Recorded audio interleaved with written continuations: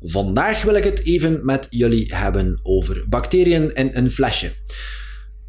Er zouden bacteriën in flesjes zitten die ervoor zorgen dat jouw indraaiproces een stuk sneller kan. Dus dat je jouw filter minder lang moet gaan indraaien. Maar klopt die stelling wel?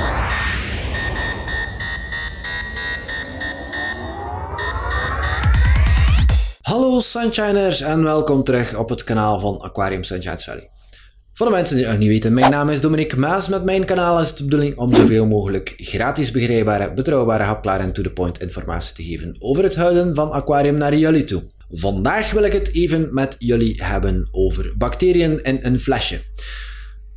Er zouden bacteriën in flesjes zitten die ervoor zorgen dat jouw indraaiproces een stuk sneller kan. Dus dat je jouw filter minder lang moet gaan indraaien. Maar klopt die stelling wel? Wel, ik zal het jullie vandaag proberen uit te leggen, zoveel als mogelijk begrijpbaar en hapklaar. Maar voordat we daaraan beginnen, zou ik jullie heel graag verzoeken om te gaan klikken op die abonneren knop wanneer dat nu nog altijd niet mocht gedaan zijn. Klik zeker en vast ook op het belletjes-icoon, dan word je op de hoogte gebracht van nieuwe video's. En voor de mensen die al geabonneerd zijn, ik vind het superleuk dat dat duimpje omhoog komt. En voor mijn drie haters die stevast klikken op duimpje omlaag, klik gerust op dat duimpje omlaag. I don't care, en tegendeel, je helpt mij ermee, dus dankjewel. Bacteriën en flesjes. Heel veel winkels zeggen neem dit flesje mee, dan moet je niet indraaien of kan het allemaal veel sneller gaan gebeuren. Het indraaien kan je gaan skippen dankzij die bacteriën en die flesjes.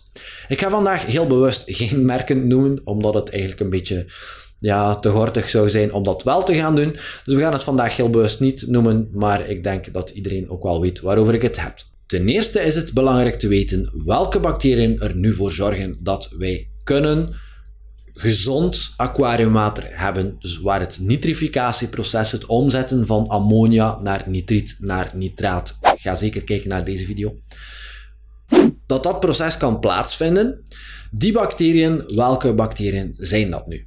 Dat zijn vooral zuurstoflievende bacteriën.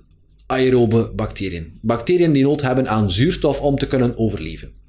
Ook deels zuurstofloze bacteriën, anaerobe bacteriën, die dus liever niet te veel zuurstof hebben, maar hoofdzakelijk de zuurstofminnende bacteriën.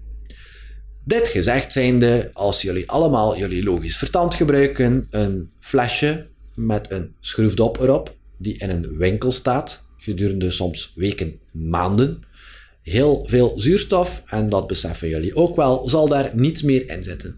Dus denk eens logisch na. Zouden die nitrificerende bacteriën die zuurstof nodig hebben in dat flesje kunnen zitten? Nee, natuurlijk niet. Zij kunnen daar simpelweg niet in overleven.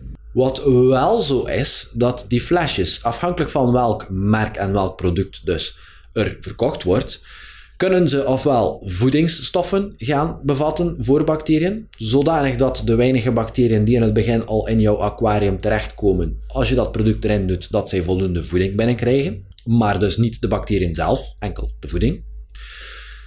Sommige flesjes hebben ook een soort ja, winterslaapstand van bacteriën zitten. Dus bacteriën die via een bepaald proces in een soort winterslaap gehouden worden, om het even eenvoudig te houden. Die bacteriën zouden dan weer tot leven komen op het ogenblik dat het in jouw aquariumwater terechtkomt. Nog andere flesjes gaan een gemalen gesteente gaan bevatten. Dat gemalen gesteente moet je zien als stof van steentjes, als het ware dat stof, dat stofpartikeltje, heeft een bepaald bacterieoppervlak. Sommige flesjes gaan dus eigenlijk meer filterbacterieoppervlak gaan in jouw water toevoegen, waardoor er dus meer bacteriën kunnen zich daaraan hechten. De drie mogelijkheden zijn alle drie niet levende bacteriën. Bestaan er producten die levende bacteriën geven aan jouw aquarium? Ja, die bestaan, maar die zijn enkel vers. Dus als je daar een houdbaarheidsdatum ziet staan van meer dan een maand, dan mag je het al vergeten. Wanneer het product niet in de koelkast of in een biota gehouden worden, dan mag je het al vergeten. Het zijn geen bacteriën. De flesjes kunnen er dus misschien wel voor zorgen dat het iets wat sneller gaat om jouw aquarium te gaan indraaien, maar dat scheelt niet massas veel. Vergeet het als je dat product toevoegt, dat je onmiddellijk jouw vissen kan gaan toevoegen. Vergeet het, no way, het kan niet. Dit gezegd zijnde wil ik het wel even hebben over die winterslaapbacteriën. Die bacteriën hebben meerdere studies uitgewezen, zullen wel eventjes gaan overleven in jouw aquarium. Desalniettemin zullen die stammen heel snel uitsterven en plaatsmaken voor andere stammen. Als je dus al die ingekapselde bacteriën zou gaan toevoegen aan jouw aquarium, dan zal er inderdaad wel iets meer bacterie in jouw filteroppervlak, in jouw filter in het algemeen zitten.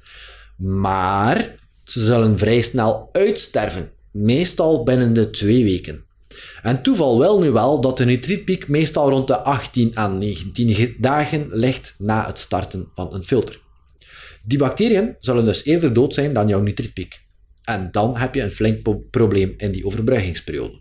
Wanneer het dus daadwerkelijk levende bacteriën zijn of de ingekapselde variant, hou er rekening mee dat je het heel geregeld moet gaan toevoegen. Wil je wat van bacteriën hebben in jouw filter en wil je geen nitripiek gaan hebben. Moraal van het verhaal is vrij eenvoudig. Heb geduld, draai jouw filter in zoals het hoort en geloof niet in het feit dat er levende bacteriën in een flesje zouden zitten. Het klopt gewoon niet. Bedankt om te kijken naar deze video. Ik hoop dat je er iets aan had. Ik hoop dat je iets hebt bijgeleerd. We zien elkaar ongetwijfeld terug in een volgende video. En ik wens jou nog een fantastische dag toe. Dag.